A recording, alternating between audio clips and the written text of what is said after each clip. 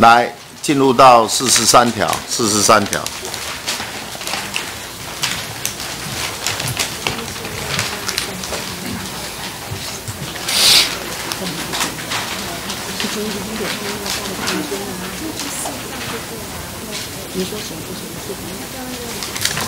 那么四十三条，呃，大概来，请来，时代力来那个黄伟，那个四十三条的部分哦，时代力量党团所提出的再修正动议啊，是要去解决我们现在在实务上面啊所出现一个非常严重的问题啊。什么严重的问题啊？就是说我先讲我们基本的价值。一个法官如果贪污的话，一个法官如果贪污的话，不准从纳税人这边再领任何一毛钱。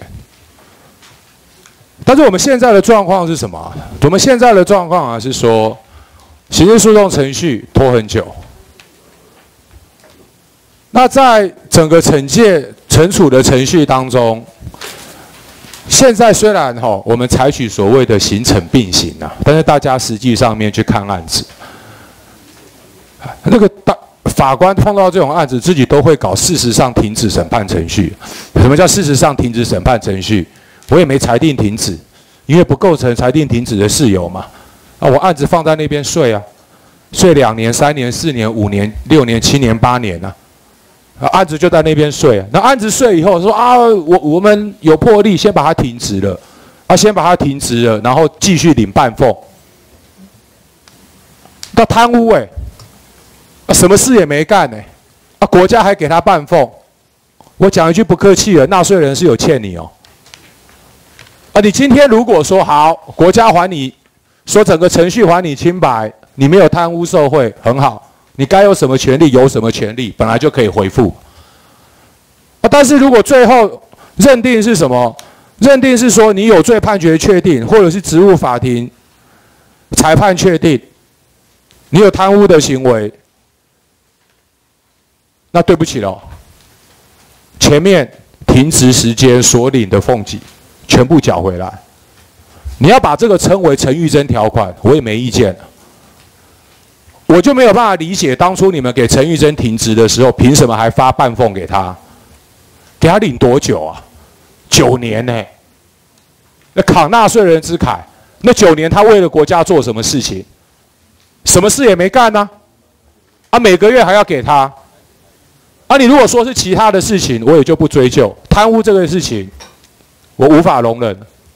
啊，你说好没关系。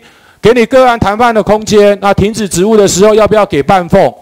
然后掌握在你们手上的权限，那这个我还 OK。那但是，一旦有贪污确定，不好意思哦，如果前面没有给就算了，如果前面停止职务有给，每一分每一毫全部都要追回来。老院长，谢议，好来，请各位。让让他大家 focus 一点，好不好？好，来四十三条哈，立项第二款文字上面我们和时代一样不一样了哈。对，这个大家先谈一下。好，那我们认为我们的文字中可能比较完整哈。然后到最后一项的时候，有关于贪污要要不停止时间要要缴回哈，请司法比照各种法律上你答答复清楚吧。来，请司司法院要不要说明一下？这个。这个当然，呃，在想象上哦，既然是贪污嘛，他，呃，他就不应该受理。但贪污钱不一定是他领的俸给了哈，他也有可能贪污没有多少，但是判的罪很重啊啊，或者是因为案情金额不大，案案情复杂，所以拖很久。那现在呢，这个判贪污确定以后呢，在停止期间给半薪呢，呃，上一次全序部有提嘛，但是基于。生活上必须，你没有给他那些钱，他可能就会没有办法活下去嘛，哈。那啊，现在给他钱是为了让他继续活下去了，啊，他已经都概念上就用用用光了。你要判决有去又通通把他挖回来，这个会不会影响到他的？那他不就不要贪污就好啊？那那不那是两回事了。我说怎么两回事？啊，贪污判刑是一回事了。你判你贪污之后。他缴回来没有钱，那是另外一个处置方式啊。我觉得你这个理由讲出去会被全国人民笑。贪污所得，你现在给他办一，般公务员那贪污也没有再缴回来了。哼 来，我来请。我们一样一样来。第一个，我对于刚司法院秘书长所讲，啊，贪污可能也没有贪多少钱的这种说法，我完全无法苟同。我完全无法苟同。我再说一次，我完全无法苟同。什么叫法官贪污也可能没有贪污多少钱？这个是司法院的标准哦。那个这个是司法院的标准哦。只是在说贪污跟这个哦，对啊，关系的。我完全 quote 的你的每每一个字啊，我一个字都没讲错啊。但是我觉得这种观念在这边要讲清楚啊。什么叫做贪污没有贪多少钱？你法官贪污就是贪污啊，不准再当法官去坐牢，刚好而已啊。告诉你现在不要进了。那第二个，过去所发生的事情是什么？过去所发生的事情，我们大家打开天窗说亮话了，就是 A、B、C 有贪污，A、B、C 罪有贪污被抓到判刑了以后，所有被这个法官判过的当事人都在问：哎啊，我的案子呢？啊，如果我输了，是不是因为你收对方的钱？啊，只是你们过去在清查这件事情的时候，都跟大家讲，没有没有，经过我们清查，前面的案子都没有问题。我老实跟你讲啊，我在民间社会听到的是，没有人相信这种说法啊。刚好就这三个案子摊啊，这三个案子抓到啊，其他前面这个法官真的是非常的清廉，都没有在摊，我们清查过的都没有问题。我觉得这已经是严重违反了社会的经验法则。好，没有关系，我们回来就事论事。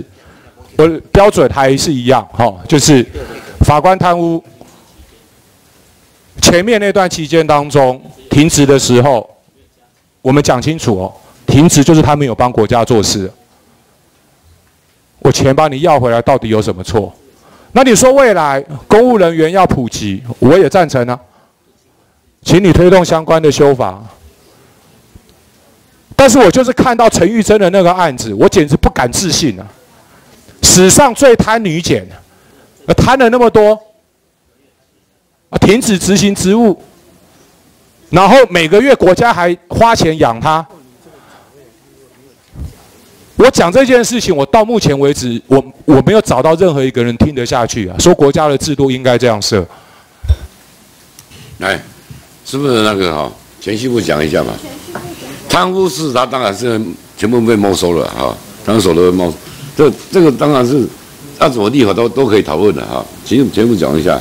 好，全序部在讲之前啊，没关系，我只是法官跟一般的公务员还是不太一样，不然薪水不会差那么多了，保障不会比公务公务员天呐没有福利那么好啦，所以要讲话要很小心的讲哈。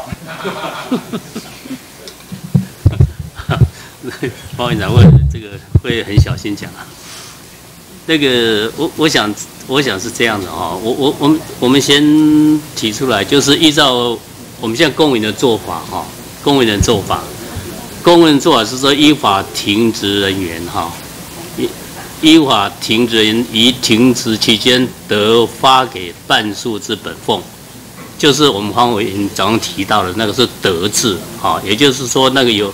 主管机关哈有有权责去判断给或不给，哦，那至于说赖其生活那个规定是以前的规定，那公务员俸就法修正完以后就是德的意思，哦，这个这个委员提委员上次在委员会的时候有问过我，那也提过，所以这是德，所以那是发给半俸，哦发给半俸。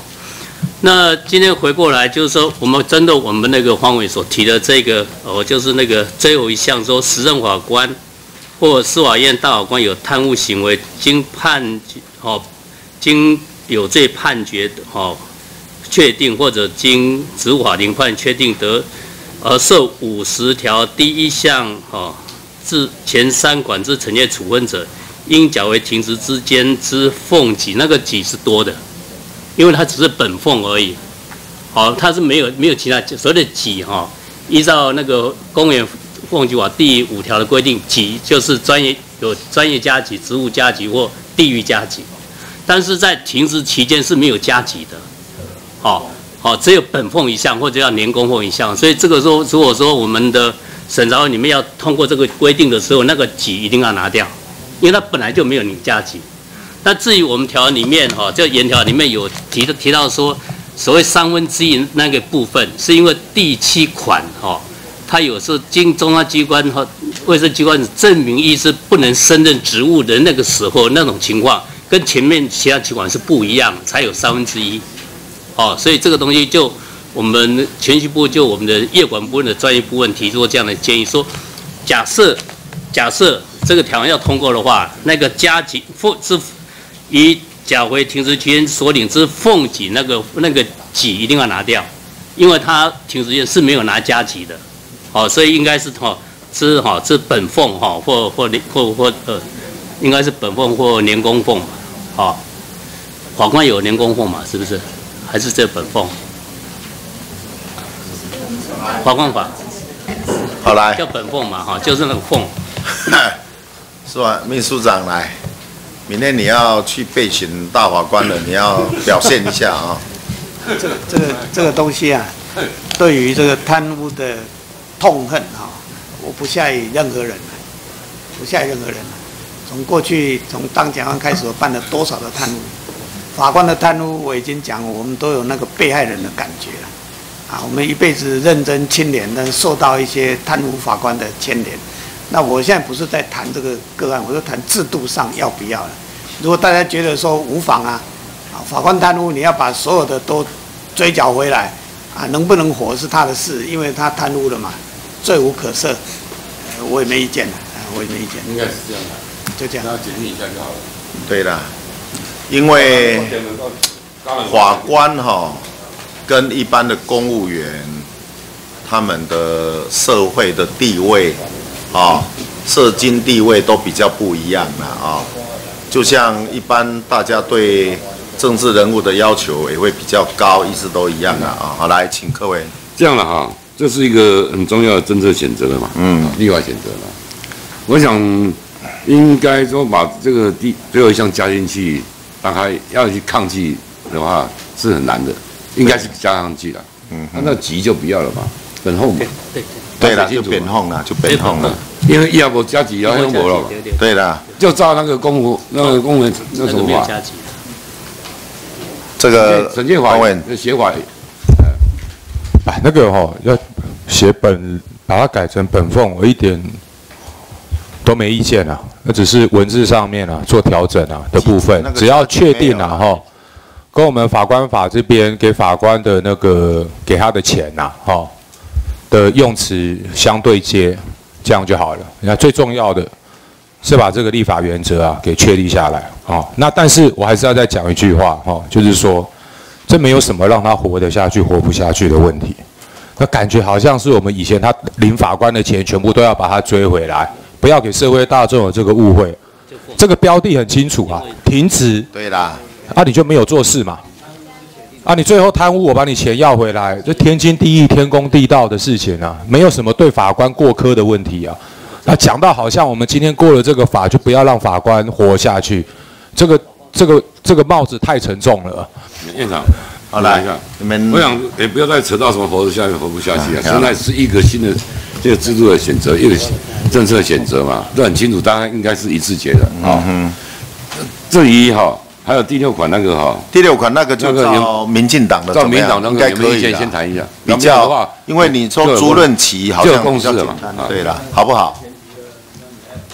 好，第六款第六款的部分呢，就是有客观事实，主任其不能执行职务，经司法院邀请相关专科医师。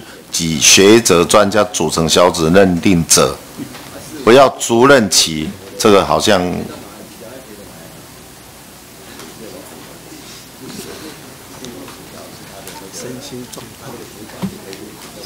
好，来，请。我们把那个第六款先处理掉。啊，所以现在在处理第六款。对，那我等下再讲那个最后一项。好。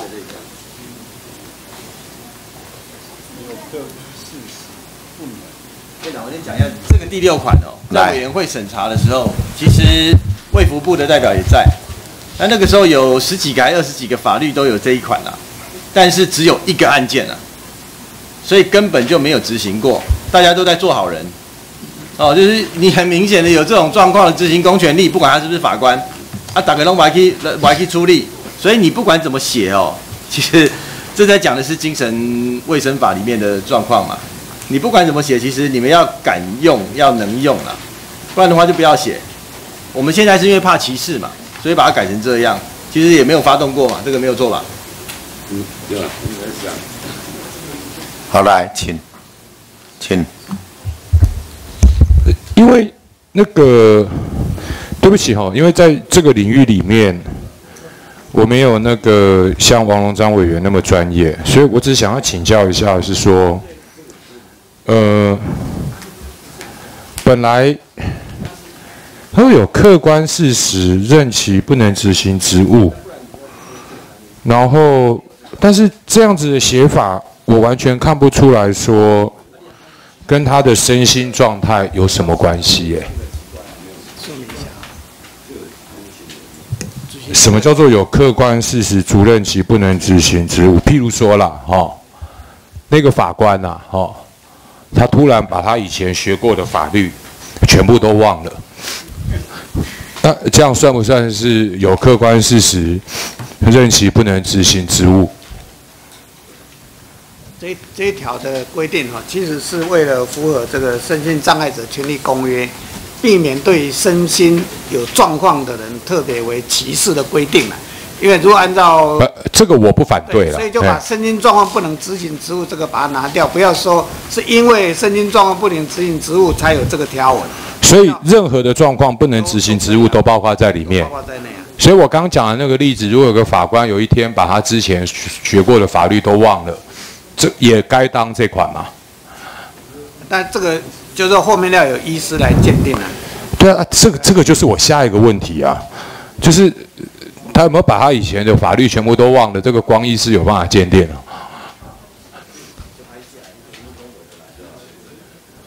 应该是可以。这差别到底是？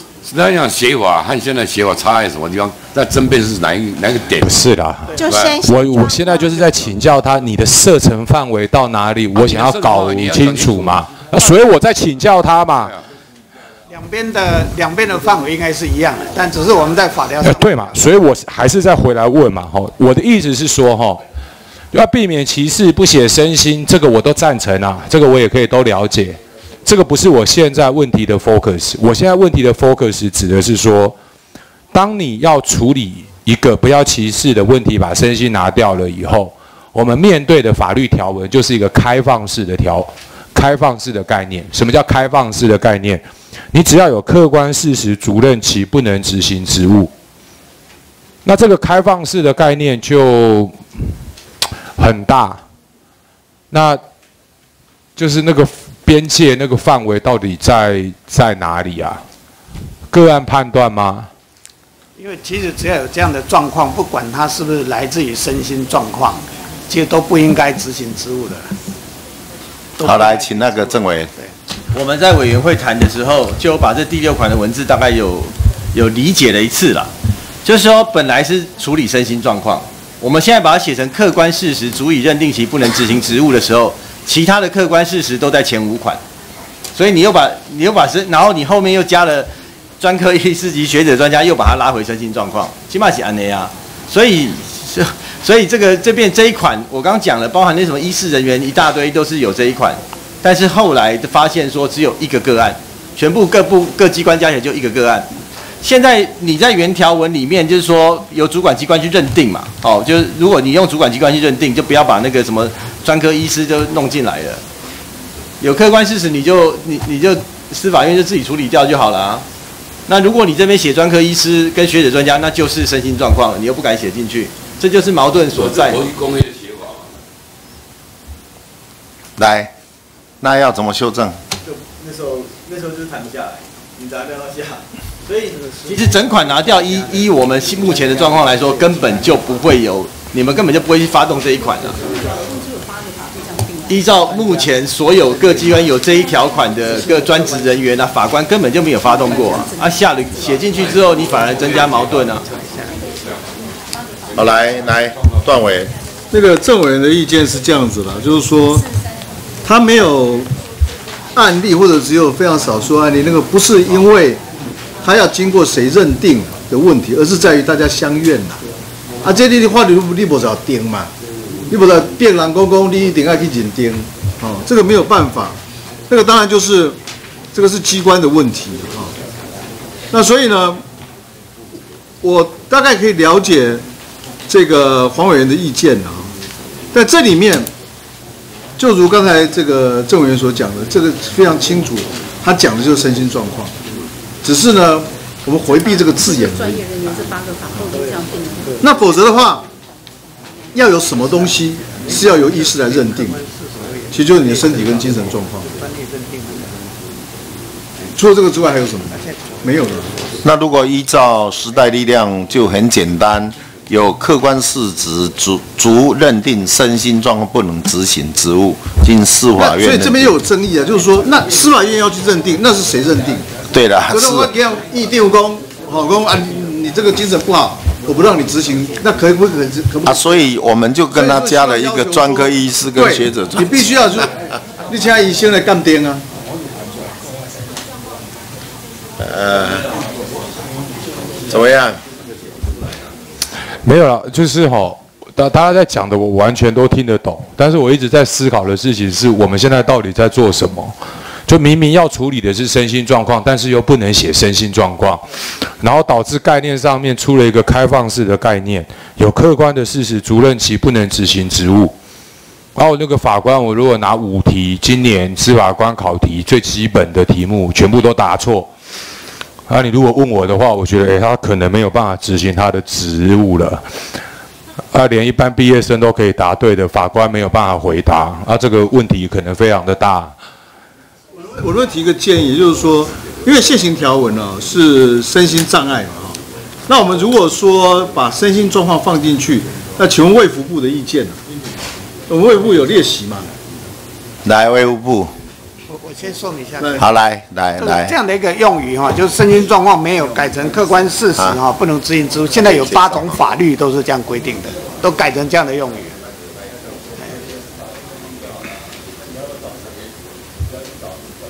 都是专，就是都是专业人员，像嗯，就刚修的医师法，有客观事实不能执行任务。法，主席，主席，就是刚刚提到，就是到底有司法院，呃，前面呢、身心状况，呃，把它改成这个我们的修正条文，客观事实主任这个哈，现在目前有八种法律都是用这样的条文啊，包括呃四呃四月四月十九号，对医师法啦，还有这个药师法、医师检视法、呃语言障碍法等等等，一共八种法律，都是把新呃这个身心状况拿掉，直接用有客观事实足任其不能执行职务，这是第一个。那第二个呢，到底要如何来认定哈？如何来认定啊？那我们在医师法里面，它一样是跟我们这一样，就是说邀请专科医生啊、学者、专家小组组成的来认定的，它并不是由司法院的。对对对对对。所以我们是参考其他法的立法例啊，把它规定。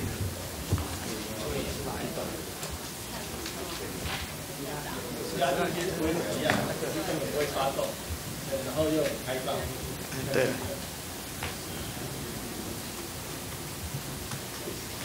来这一条怎么样？你们的建议具体一点，让大家都能接受我刚才有报告，其实这个条文现在的立法的方式，在我们其他法律都已经嗯对这种所以这个你我们第六款这个没有问题的哎，没有问题。那哎那好就可以，哦哎因为院长，我补两句话就好。第一个就是说哈，第六款就按照刚刚司法院讲的，我没什么特别的意见了。好啊他们要这样写就这样子写啊。好他只不过反正看以后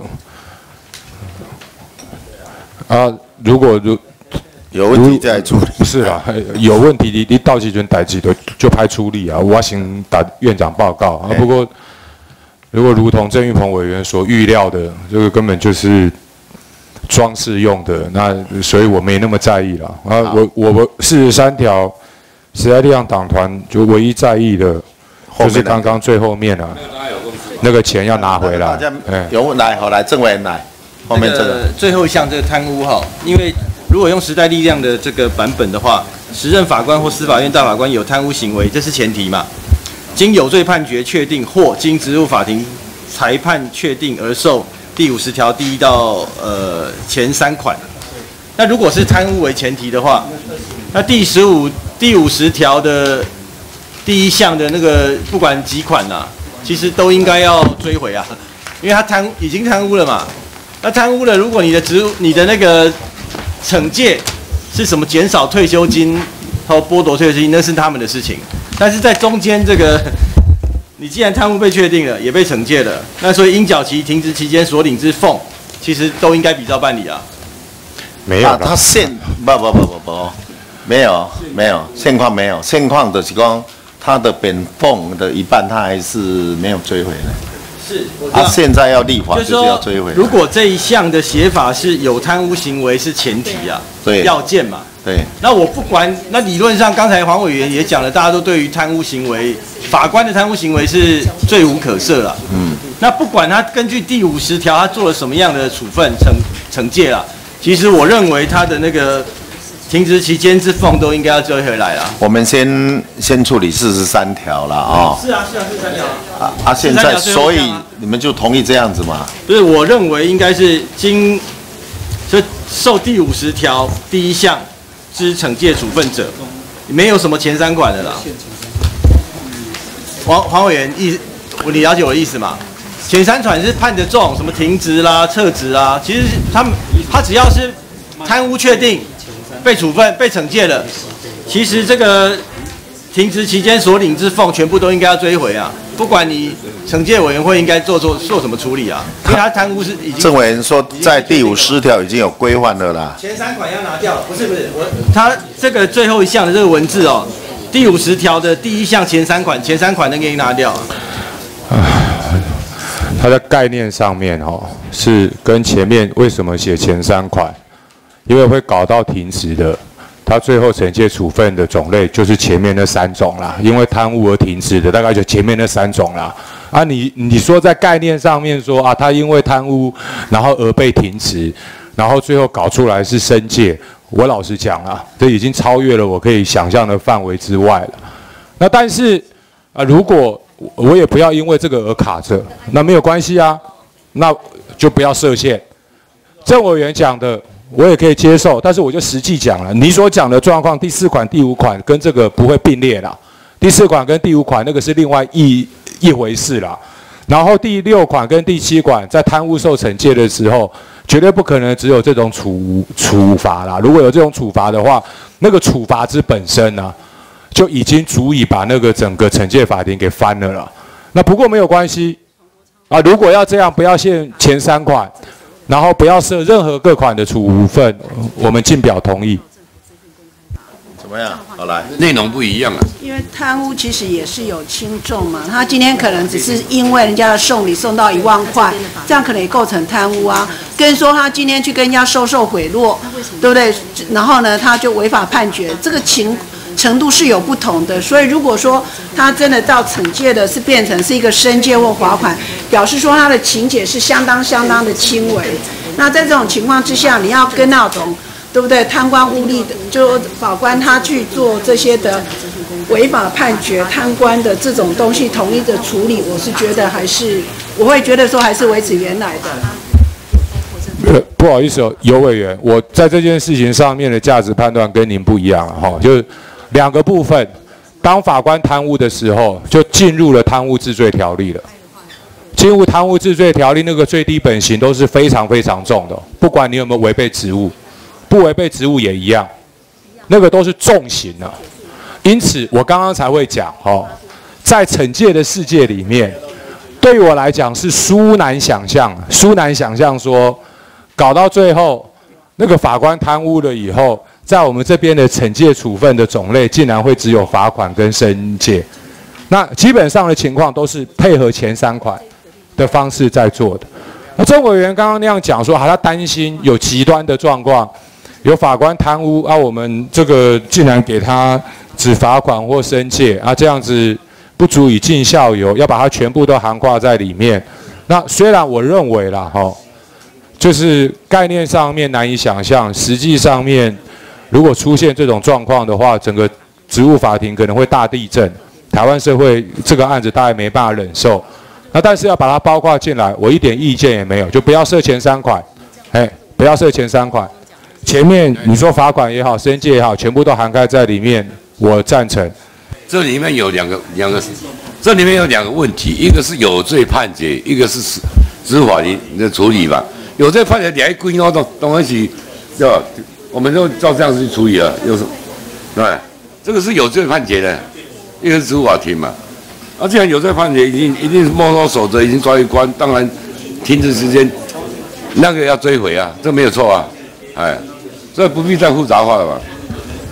先我们这样子啦啊，我们这样子不要一下子跳来跳去了啊。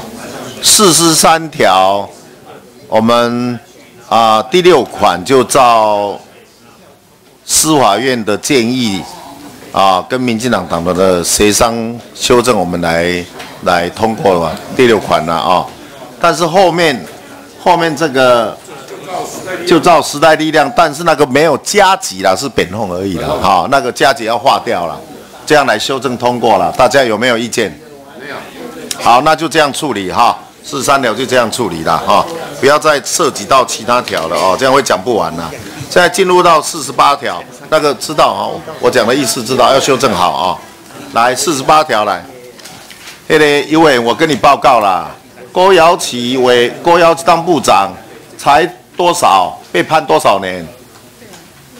所以不能说一万块、两万块啦。你看那才多少？喝了，我们就不必再讲。我们进入四十八条了啊。所以呢？对了，所以把它拿掉。那这个，来四十八条来，四十八条。结论是怎样？我们进入四十八条啊。结论是怎样？结论就是一前面啊，第六款照民进党党团跟司法院的建议。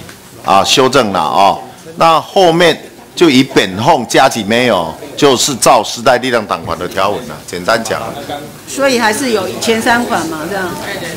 对，就是就是照原来的。对对对，照。那这里还有一点，就是说那个第六款的哈，刚刚啊，第六刚才已经照民进党党团的。现在这里就是说他的是停，就依照他的本俸及加几各三分之一。那现在就是说他停止职务，还有还有加急吗？没有，没有加急的。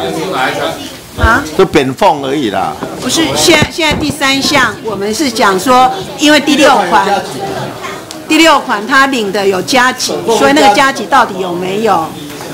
目前两个条文都有。就第三项跟第四项。他因为第六款的事由而停止职务，所以这时候哦，那个第六款是不一样的，比较不一样的。第六款，那现在就是在第三时代力量跟民进党第六款都有加急啦。好，你的意思是这样子啦？对，所以要问说到底还有没有加？那这个这个就照照时代力量的那个呃第六款应该是。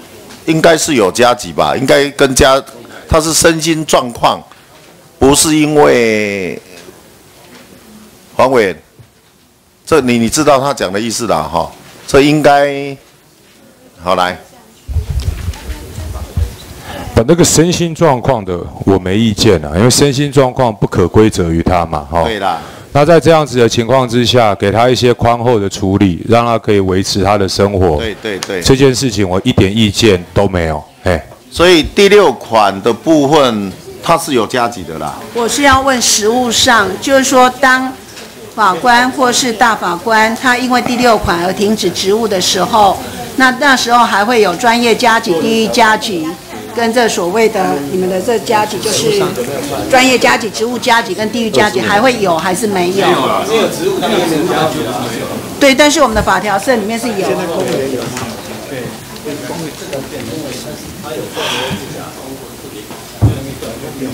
实务上有发生过吗？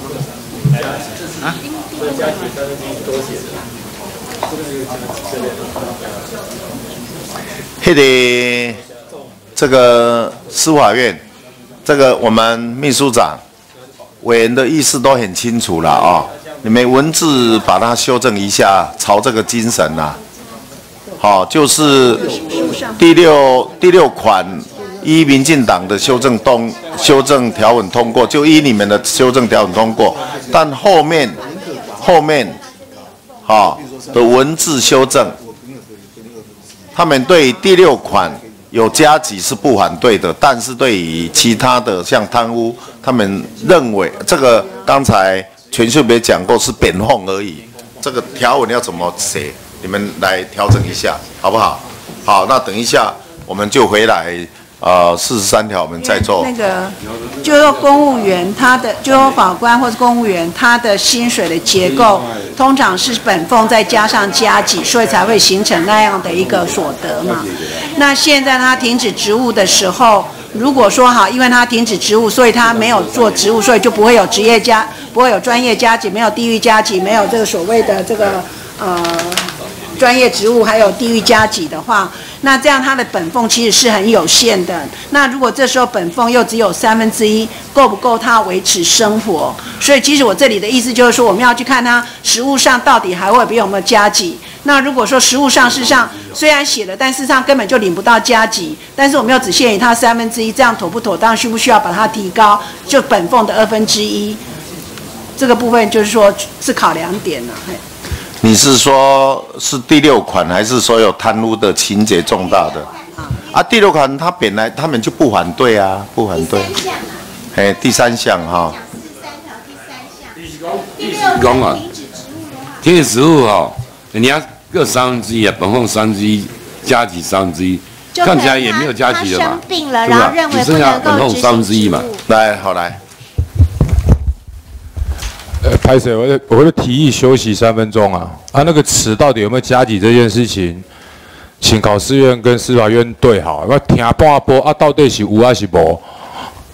应该应该按你讲了，如果一般的公务员，我刚才请问叫考试院，一般的公务员是没有加级的，就是你停职对，哦就没有加级，因为你加级是要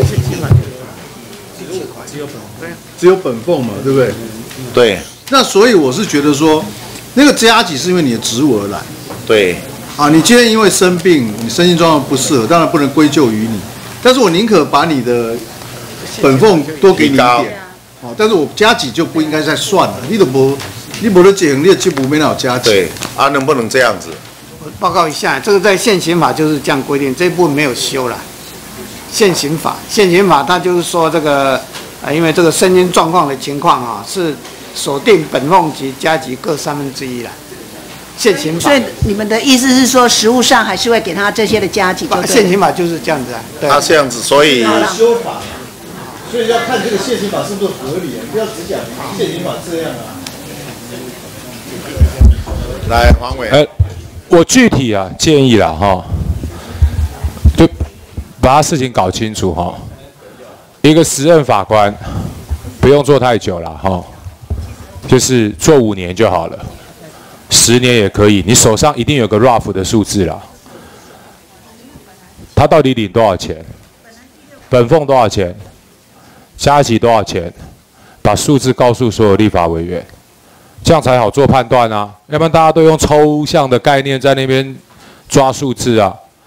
一个干五年也好，十年也好的时任法官，本俸多少钱，加急多少钱，把数字亮出来嘛。那这样才好判断啊，到底是说啊各三分之一好，还是本俸二分之一好？要不然没有数字，然后拿概念在那边炒空的，没有意义啊。是不是请司法院现在提供数字给大家？那没有那么困难呐、之前我在问陈玉珍钱怎么领的，法务部都整理出来了，还整理的巨呃巨巨细靡遗啊，啊服。务五年大概本俸多少马上查，马上回报。啊？我们马这个马上回报，因为人事单位在查了。来，他来这里，来，五年了，五年多少？来讲一下，你直接讲。哎，主席，其实这里的问题点在于是说，当法官停止职务的时候，他仍然有本俸跟加级。我听有啦，我对知，影那如果。这样的话，我们在刚刚的那个贪污的法官，我们变成只有追他的本俸，而没有啊，追他本加级。不不，贪污的就没有加急，他在平常只有本俸而已啦，就没有加急的啦，没有啦。这个，的话，我们停止职务是还有没有啦，没有啦，那是第六款啦，那是第六款才有啦，事务房只有一两个人而已嘛，啊，那是第六款而已啦。这是本梦可是你那个是三万一而已，他现在是追他加急是这个知道吗？但是你是您说那个他们加急加急，他是只是四十现在啊，第六款的处理，第一个就是把本俸提高二分之到二分之一，啊，不然就是有加急三分之一啦，很简单，就是看是要怎么处理这个方向而已啦。俸基法是第二十一条第一项，只有本俸或年工俸的二分之一，加对加级没有，对没有没有，那是这个为了是特别规定。对，因为他这个啊，所以我们要做决定嘛，那来你来做决定啊。这样就照原来就好。对，安内啊，这这个现行上很少，没啦，所以因老师为讲一下嘛，这个很简单啦，哈。那这样我没有意见了，还没有啦第六款的部分来，司法院的意见是针对第六款，其他的其他的当然就是本后嘛。那第六款的部分要不要加急嘛？这样子这样子啦。我们呃希望是加急啊。那刚刚呃主席有在问说多少嘛？五年的话大概多少？五年法官五年本俸大概三万一千，哎三万一千三百五十五啦。专业加急大概七万六千。那那也不多啦，还好三分之一那样嘛好了，好了，那个应该很少了，那应该是要有加急三分之一了哈。是不可规则的。第六款哦，第六款的部分而已哦。第六款的。好，好不好？对。好，安尼好不好？会塞呗。好，那这样这个文字就做这样调整啊，你们调整一下啊。好，现在你知道哦，知道哈、好，来，我们进入第四十八条。